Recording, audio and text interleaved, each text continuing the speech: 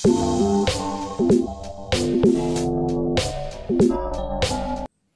everyone, good morning. Today I'm gonna teach you how to uh, put makeup within 5 minutes. Yes, you heard it right, 5 minutes. So without further ado, let's start. First, I'm gonna put um, cream on my face.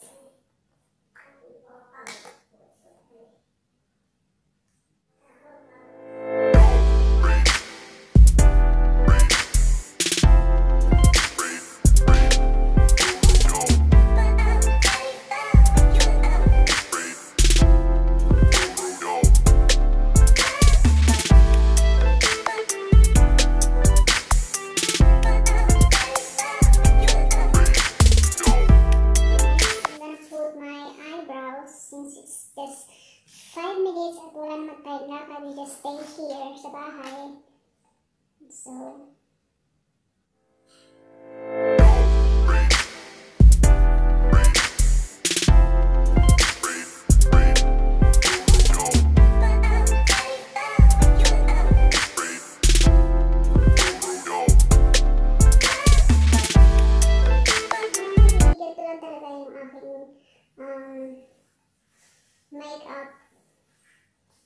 everyday talaga. Ganito lang ang aking makeup look.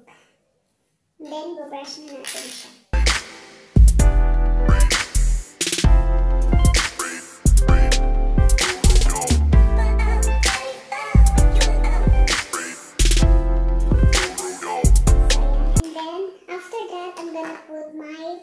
Blush. Yes, you heard it right. Blush agad tayo mga kabeshi. And now, I'm gonna use my matte. Ito yung lagi ko talagang ginagamit as blush on aside from yung L'Oreal ko dati. But since wala na akong L'Oreal, so ayan. Ito na ang ating gagamitin.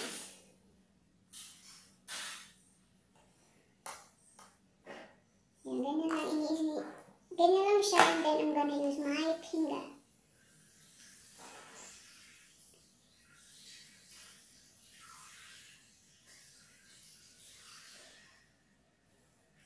So, ayan. And then, I'm gonna put, um, our lipstick. And then, that's it.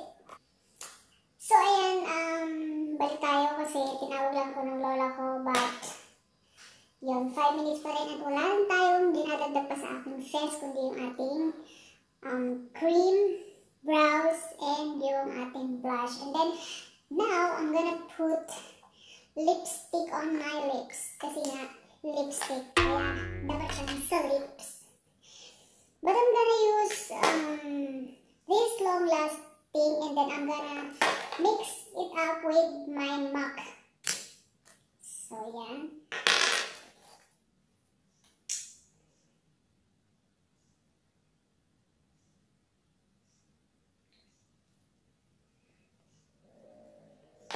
So, yan. And I'm gonna put my MAC.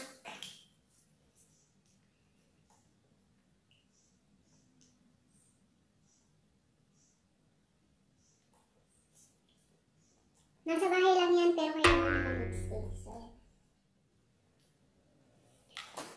Since I still have time, it's just 3 minutes and 46.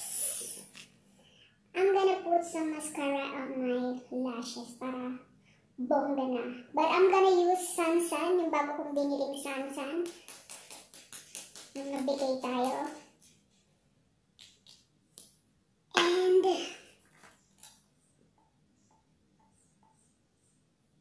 hindi ako nag masyadong naglalagay ng eyeshadow, guys. Nasa bahay kasi, um, nag-i-irritate, nai-irritate yung aking mata. So, so ayan guys, yan ang ating looks. But tatapusin ko lang with my hair para bonggang-bongga na. Meron pa tayong um, still 4 minutes and 35 seconds. I'll be back. So, ayan guys, yan yung ating final Um, basa pa yung aking buhok at hindi ko pa napag-blower. So, ayan. Very, very white. With, with, um, wet. Yan, hindi wet. Wet look lang tayo. So, ayan.